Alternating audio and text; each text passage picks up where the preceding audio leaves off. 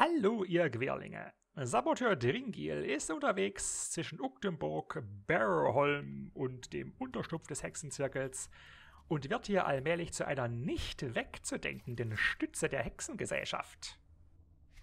Dann als nächstes die Barrowholm-Mine, die ist hier oben in dem Bereich irgendwo. Das heißt, ich werde jetzt mich dahin beamen nach Barrowholm, werde hier durchwetzen und mich irgendwo hier beim Eingang der Mine wieder einfinden. Der ist da oder was weiß ich, wo der ist. Irgendwo hier oben.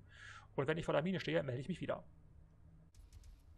So, hier bin ich. Da trampelt noch was. Auf unserer Treppe trampelt was, wartet durch die Sümpfe.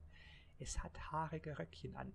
Jetzt äh, reime ich nicht weiter. Kinderlieder sind passé. Jetzt geht's hier in die Barrowholm-Mine. Minenschädlinge und die Kopfgeldqueste Chillpinzer. Chillpinzer?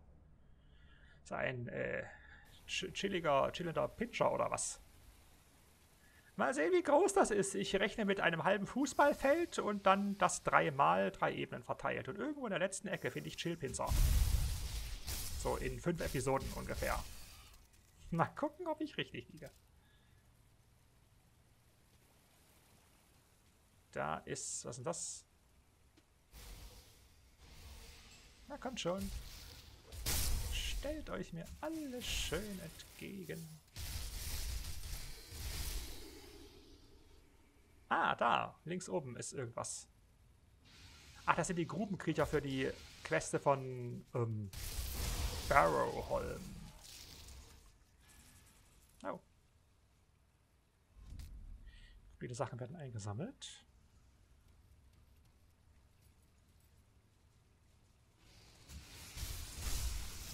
Hier ist irgendeiner Storm irgendwas, aber er ist auch schon tot. Geisterklingen. Sind hier besonnen. Ach, da sind die Grubenkrieger hier schon dabei. Aha.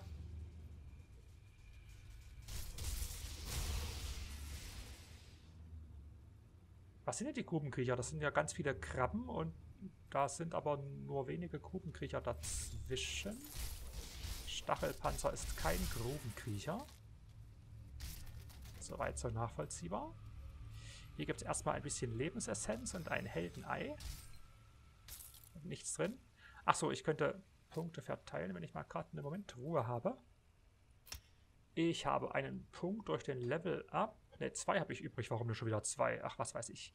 Die gehen weiter in die Schattenklinge, weil ich hier hinten auf euer Anraten hin mal Einbruch der Nacht ausprobieren möchte. Also zack, zack, zwei Punkte auf die Schattenklinge, äh, Klassenpunkte und dann habe ich halt jetzt im Wesentlichen ein bisschen mehr Konstitution und Geist und Lebenspunkte und so weiter. Nichts wirklich extrem Interessantes gerade. Da sind zwei Gruppenkrieger dazwischen. Kommt mal alle her. Dann erwische ich mehr. Drei von sechs. 4 von 6. Oh, der Dick ist auch schon weg. Und da pfeift in der Mine.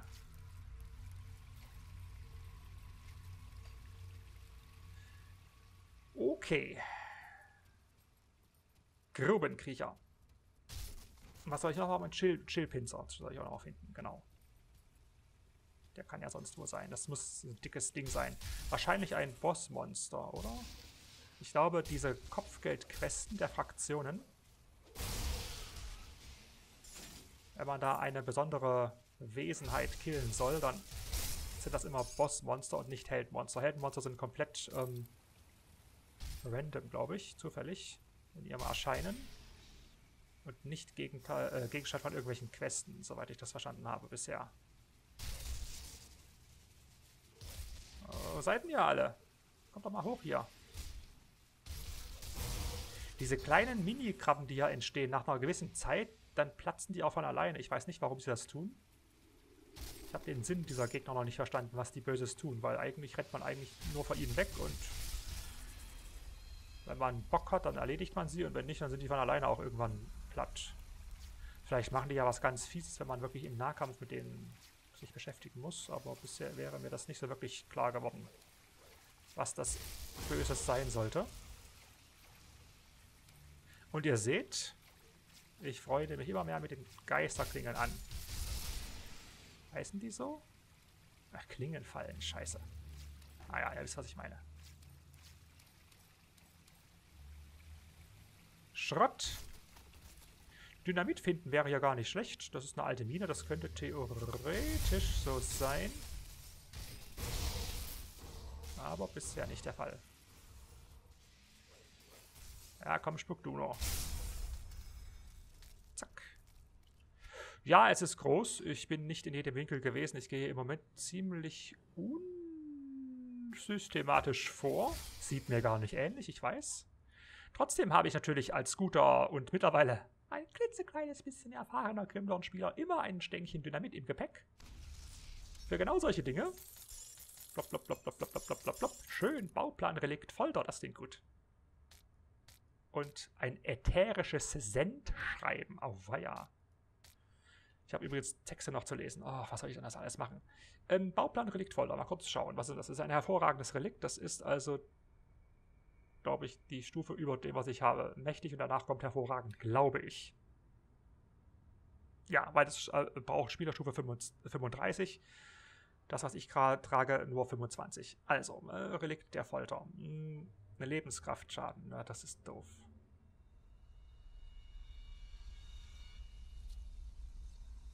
Gewährt Folter. 25%ige Chance, wenn du getroffen wirst.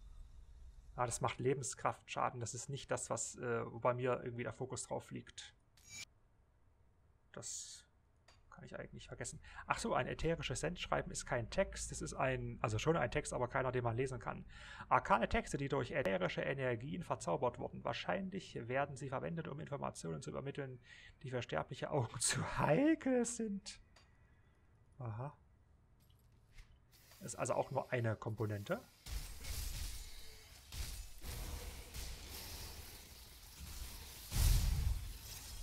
Ach, die waren schon alle weg. Versengende Glut. Ach, hier liegt doch Dynamit. Mine gleich Dynamit.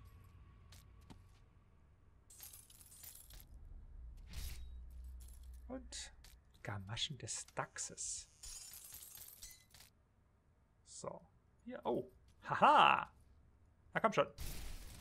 Geheimversteckalarm. Ich finde in der Barrowholm-Mine ein Geheimversteck. Und zwar da oben.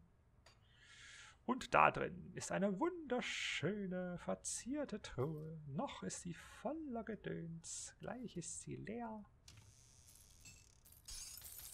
Plop, plop, plop, plop, plop. Naja. Ah Grüner Kram. Ist okay. Und ein gelber Hut.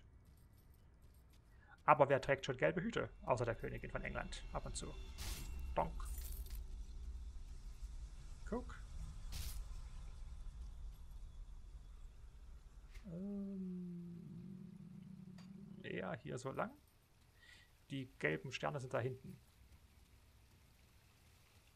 Na? Mein Dickerchen? Beschädigter Panzer. Ähm, Ah, das war zu weit. Scheiße, scheiße, scheiße. Das war zu weit für die Klingenfalle. Aber die komischen Frostkrabben hier, die... Oh, das ist vielleicht der Chillpinscher hier. Die eignen sich ziemlich gut für diese Klingenfallen, weil sie langsam sind und häufig im Pulk auftreten.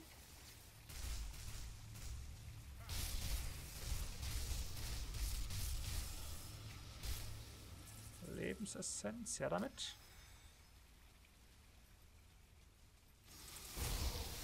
Das ist Chillpincher. Nein, Chillpincher ist ein Heldenmonster.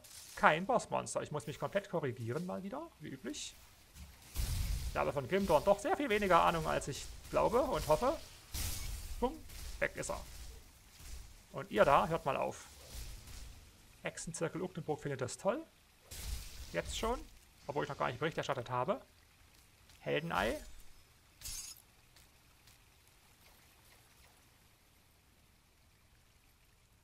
Warum gibt es denn eigentlich dann Heldenmonster und Bossmonster? Was ist jetzt der Unterschied? Die Bossmonster sind um einiges härter als Heldenmonster, ja. Ist das das, äh, das einzige Kriterium, warum es halt beide Arten gibt? Habe ich jetzt schon die Chillpinscher habe ich gemacht. Minenschädlinge habe ich auch gemacht, okay. Naja, trotzdem, ich gehe mal hier weiter. Ich bin mir zwar ziemlich sicher, dass mich eine Barrowholm ähm, Kopfgeldqueste und auch vielleicht noch eine weitere Buchtelbock Kopfgeldqueste hier nochmal reinführen werden, aber dann kann ich es auch nicht ändern. Muss ich halt noch mehr hierher, noch mal hierher.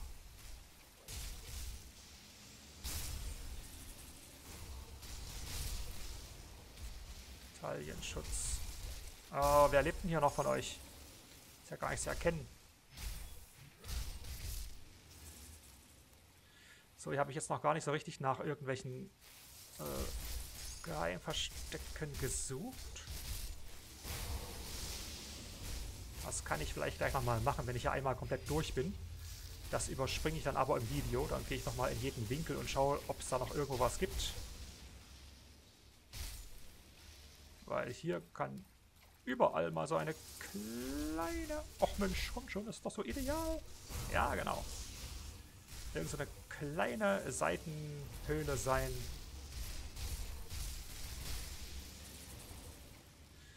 Wo es was zu holen gibt und die nicht auf der Karte ist, prätorianischer Brustschutz, das gehört doch zum Prätorianer dazu, das habe ich schon. Also die, das ist die einzige, nein, das einzige Rüstungsset, das ich bisher äh, beisammen habe, glaube ich.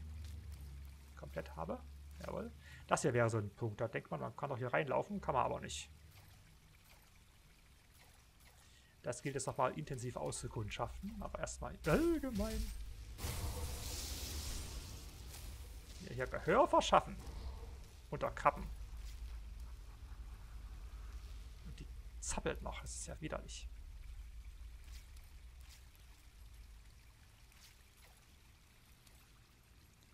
Oh, wer bist du? Oh, das ist ein Bossmonster, scheiße. Naxenshade. Ja, wegen dem muss ich garantiert nochmal hierher.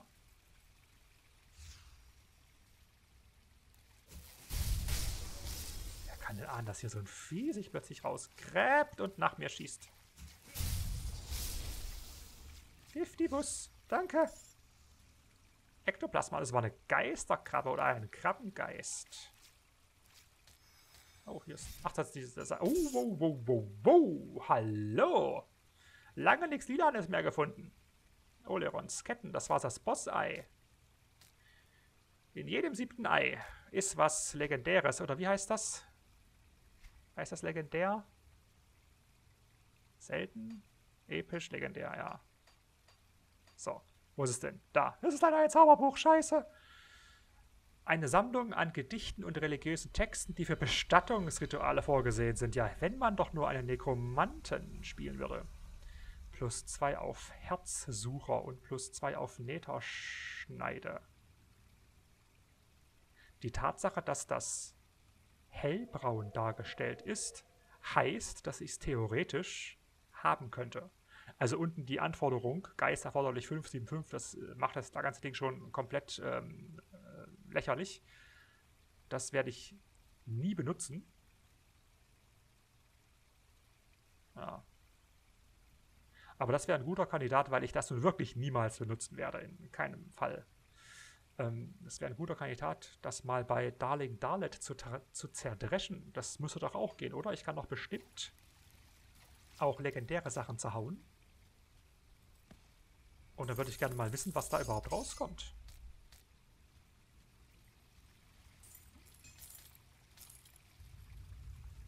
Habe ich nämlich keine Idee zu, was da passiert, wenn man sowas kaputt macht. Habe ich noch nie gemacht. Es gibt vielleicht sogar eine Errungenschaft von wegen Dekadenz. Zerstöre ein legendäres Item oder so ähnlich. So, hier ist jetzt irgendwie der Rückweg schon angesagt. Das war der Höhlenbereich, ja, unten ist der Minenbereich. Ich glaube ja fast, dass ich jetzt in beinahe jeder Höhle gewesen bin. So zwei, drei Abzweige sind noch so ein bisschen schattig auf der Karte. Da kann ich nochmal hinschauen. Nochmal hinwuseln. Hier so die Ecke. Ah, es ist ja hier das nächste Geheimversteck. Hallo. Da ist es. Eine Grotte mit einem Ertrunkenen. Versteckte Überreste. Grüne Sachen, ganz viele. Gut. raus. Ja gut, es gab es hier zwei Geheimverstecke. Wie hoch ist die Wahrscheinlichkeit, dass es in dem, äh, dem relativ kleinen Bereich noch ein drittes gibt? Hm, das ist jetzt nicht so wahnsinnig hoch. Aber man weiß ja nie. Ähm, hier der Gang wäre noch interessant.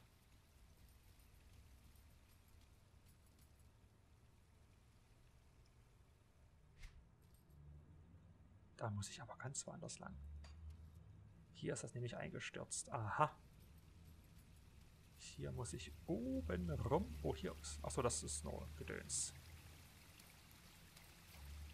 Da. Und jetzt hier unten lang. Ach, da oben sind auch noch Kisten und so. Naja, gut. Da war ich schon. Hier. Steppt noch der Bär. Au, die waren aber stachelig. Eine Schmiede ist hier. Mhm. Das bringt mich alles nicht weiter.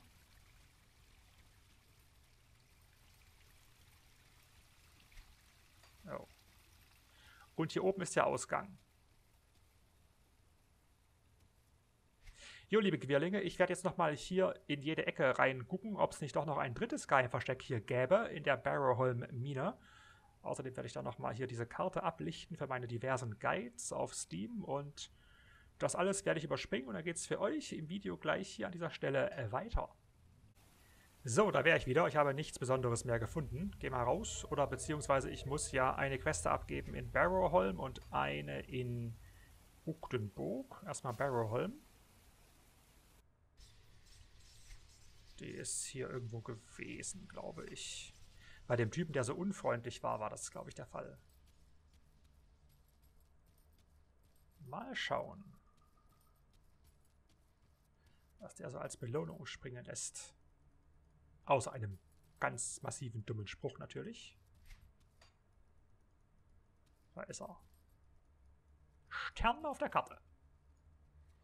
Tywald Hallows. Nun, Wurde die Mine gesäubert? Hast du das Ungeziefer abgeschlachtet, das unsere Vorräte bedroht hat? Ich habe mich um den Befall gekümmert. Bumm. Gibt Ruven Barrowholm und zwölf Schrott nur immerhin. Wobei ich Schrott eigentlich gar nicht brauche im Moment. Das sind gute Neuigkeiten. Schade, dass ich ihr Blut nicht selbst vergießen konnte. Hier, diese Materialien dürften für dich von Nutzen sein. Du solltest dich glücklich schätzen. Es ist nicht ganz einfach, so viel Schrott in einem Sumpf aufzutreiben. Da gebe ich ihm sogar recht. Danke.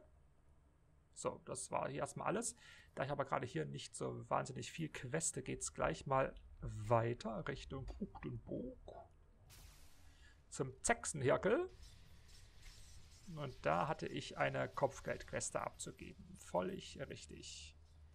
Und die ist wo? Hier. Nee. Ach, scheiße, wo sind die? Ach, hier vorne. Na komm schon her. Trinkilein, geh bitte an diesen Tisch ran, das kann nicht dein Ernst sein. So. Erstatte Bericht. Kopfgeld, Schildpinscher, Pinzer abgeschlossen. 1200 Eisen. Ruf. Der Hexenzirkel von Ukteburg und so weiter. Verbündeter, Kopfgeld, habe ich noch eins. Wie es scheint, ist vor der ketonischen Verderbnis nichts sicher. Ein uralter Manticore namens Ragaroth ist das jüngste Opfer der ketonischen Verderbnis und eine große Bedrohung für das Gleichgewicht in Ucklenburg. Finde die Kreatur im uralten Hain und töte sie. Ach, das ist uralter Hain, das will ich jetzt eigentlich nicht machen. Ähm, nächstes Kopfgeld, hast du noch ein anderes? Die gefräßigen Pflanzen von Uckdenbrook wuchern unkontrolliert. Hilft dem Hexenzirkel dabei, das Gleichgewicht wiederherzustellen, indem du die giftigen Blüten zerstörst. Als Entschädigung für diese Aufgabe hat der Hexenzirkel Eisstücke. Genau, was soll ich machen? Ich soll giftige Blüten zerstören. Ich bin mir nicht sicher, ob ich überhaupt noch so viele habe in Uckdenburg. Ich habe schon ja ganz viel weggeholzt. Ich mache mich trotzdem mal auf die Suche und ähm, guck mal, wie weit das trägt. So, liebe Querlinge, ich bin in einer neuen Aufnahmesession, beziehungsweise in einer neuen Spielsession einfach nur, weil das mit den Blumen dann doch nicht mehr gereicht hat. Aber hier ist noch eine fünfte. Und speit fröhlich vor sich hin. 5 von 5, jawohl. Oh, was ist hier los? Ähm, komm schon. Ich komme gar nicht raus hier. Ist hier Ruhe? Nein. Und der Dicke latscht auch noch unkontrolliert durch die Gegend. Ach, hier. Brennende Blume. Giftklauenöl. So, das war's. Gleich zurück zum Hexenzirkel. Und Bescheid gegeben am Kopfgeldtisch. Jetzt habe ich auch wieder neue Kopfgeldquesten, weil ich ja in einer neuen Session bin. Äh, Eisen und Ruf. Noch was? Der ätherische namens Kroknot behindert die Rekrutierungsbemühungen des Hexenzirkels in Malmouth. Finde Kroknot im Kerzenviertel Malmouth. Das kann ich jetzt nicht machen. Äh, nächstes Kopfgeld. Der Hexenzirkel ist auf der Suche nach einem ungewöhnlichen Relikt, das ihm bei seinen Ritualen helfen soll. Die Mistborn-Trolle. Die Mistborn-Trolle in den Broken Hills? Sind Meister in der Herstellung des Mistborn-Talismans, den ihre Schamanen benutzen, um Magie auszuüben. Der Hexenzirkel möchte für seine eigenen Verwendungszwecke seine Magie untersuchen. Als Entschädigung überlässt der Hexenzirkel etwas vom Blute Getons, das er gesammelt hat. Das ist offenbar Mistborn-Trolle in den Broken Hills, die sind ja am anderen Ende der Welt. Kopfgeld annehmen. Kopfgeld Mistborn-Talisman stellt das Relikt Mistborn-Talisman her.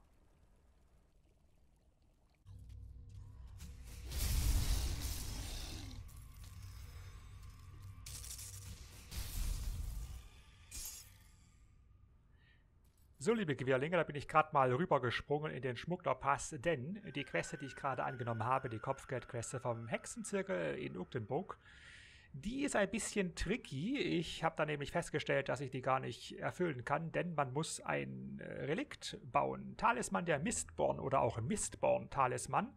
Und dazu hatte ich noch gar nicht das Rezept. Und da musste ich erstmal recherchieren, wo es das Rezept überhaupt gibt. Das gibt es nämlich nicht zu kaufen. Das muss man sich erfarmen. Und zwar kann man sich das erfarmen im Schmugglerpass bei dem dicken Troll Voldrak, der irgendwas, das ist dieser Troll, der ein Bossmonster ist, da ganz oben. Im, Schmuggler, im Schmugglerpass. Und ja, jetzt ist es mir gerade gelungen. Ich habe das jetzt hier fünf, sechs Mal probieren müssen. Dann habe ich das jetzt hier gefunden. Das geht also, ist nicht so schlimm. Bauplan Relikt Talisman der Mistborn finde ich. Und ein bisschen anderen Krempel. Das grüne Zeug lasse ich liegen. Und dann geht es gleich mal zurück nach Devil's Crossing zum Basteln.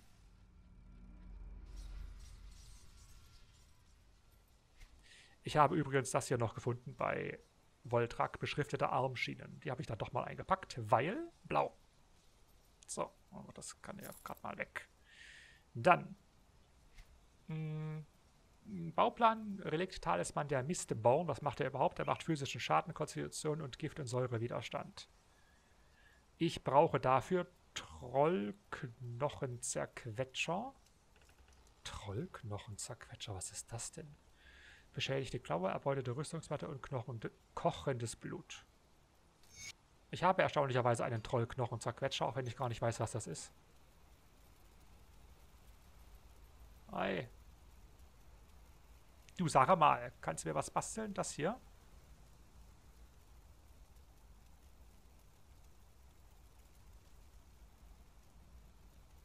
Ach, das ist was, was ich aus Versehen eingesammelt habe.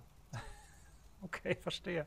Das ist jetzt aber großer Zufall. Ich habe mich mal wohl bei den äh, vier, fünf Versuchen, die ich jetzt gemacht habe, dann wohl doch mal irgendwann verklickt. Eigentlich wollte ich den grünen Kram vom Kollegen Voltrak liegen lassen, aber irgendwie ist wohl doch was in meinem Inventar gelandet beim Rumklicken auf den Komponenten.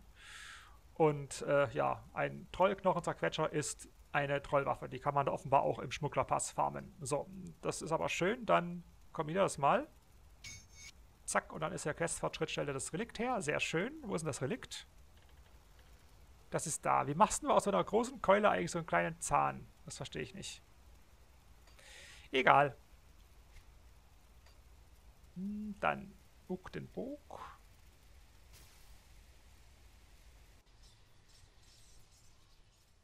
Und schnell mal zum Kopfgeldtisch. Erstatter Bericht. Bumm. Schön. Das gibt Erfahrung, einigen Ruf, gar nicht so wenig, und Ketones Blut. Wenn man die Queste farmen will, die Kopfgeldqueste, da muss man sich immer diesen komischen, diese komische Trollkeule erstmal besorgen. Das ist nicht so einfach. Ja, Getones Blut. So, damit ist hier mal Schluss. Weitere Kopfgeldquesten gibt es dann erst in der nächsten Episode. Das Einzige, was ich jetzt noch mache, das ist wie angekündigt, mal kurz bei Darling Darlet.